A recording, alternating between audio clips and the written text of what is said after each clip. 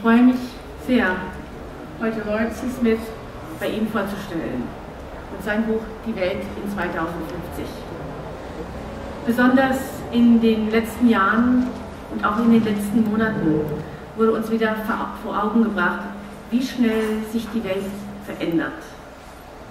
In Japan, in Haiti, in Louisiana, aber auch in Ägypten und Tunesien und anderen Ländern im Nahen Osten sehen wir, dass sich unser Leben sehr schnell fürs Bessere oder auch fürs Schlechtere ändern kann. Und ich denke, die ganzen Finanzkrisen der letzten Jahre haben uns alle ein bisschen verunsichert. Wir brauchten eigentlich einen Kristallball, um zu wissen, was auf uns zukommt.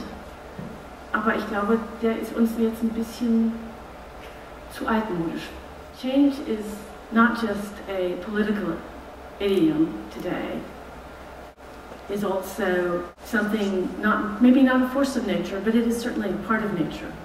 And I think Professor Smith, who teaches at UCLA, is the geoscientist that can put all of these elements together for what is happening to us in terms of demographics, in terms of economic integration, in terms of climate change and globalization. And it's a real honor to be here tonight and introduce him. But let me turn this over to you and Professor Adabek right now. Thank you.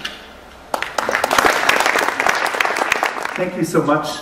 That was very warm welcome, both of you, and what a pleasure and honor to be here in Frankfurt speaking to you all tonight. Uh, thank you so much for coming in.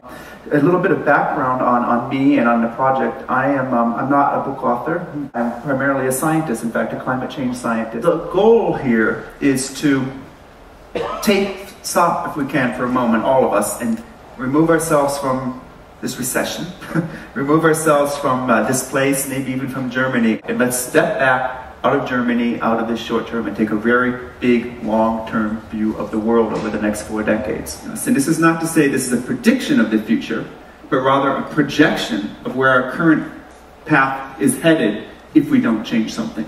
So many of these outcomes can still be averted, and frankly, it's my hope, let's hope that they will. But at the moment, this is the path we seem to be on. In April 2006, a very strange thing happened.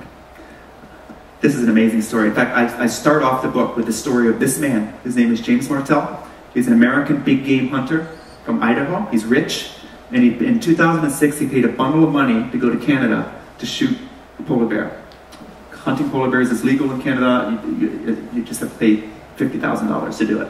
So he paid the money. He had these guides, uh, these two guides, to take him. And they took him out in a Canadian Arctic. They found him a polar bear. He shot it. They ran up excited to look at their prize, and their excitement turned to confusion because it looked like a polar bear, but upon closer inspection, something wasn't quite right. It had dark eyes, like a panda, circles under its eyes. It had long, hooked claws. It had a hump on its back. In fact, it had many of the physical attributes of what? The grizzly bear. That's right. Ladies and gentlemen, what you're looking at is the first ever documented occurrence of a grizzly bear, polar bear seen in the wild. Shot in 2006. Last year, one year ago, a second one was shot. This one was the offspring of one of those hybrids. So not only has it happened, but they're not sterile. These creatures are reproducing, they're breeding. No. For this to happen required a grizzly bear to push far north into polar bear territory, which is something that biologists are beginning to see, along with very erratic behavior of polar bears. But is it concrete evidence of global warming? I don't know. I'm a scientist, and no reputable scientist would take two events like this and attribute them to anything. Time will tell whether this is just an oddity or the arrival of the heralding of a new hybrid species on Earth in response to global warming. But what I do trust are seminal studies like these appearing in some of the top journals in all of science that run the statistical analyses on hundreds of biological studies done over the years, crunching the numbers and finding that on average the world's plants and animal species are moving north at a rate of 6.1 kilometers per decade. On average, some are moving faster, some are moving slower. That number may not sound like much to you, but it translates to almost two meters a day. So imagine coming out of your apartment every morning and seeing that your lawn has crawled north by two meters from the day before. That's very, very fast. It's my fervent hope that anyone who sees a narrative of a world where we're going to the Arctic to drill out the last drips of oil, because that's, that's how desperate we've become, would wake up and would think very strongly about changing the current trajectories that we're on. This is not a prediction, it's a projection. It's a lesson of, of where we're headed if these trends continue without intervention today.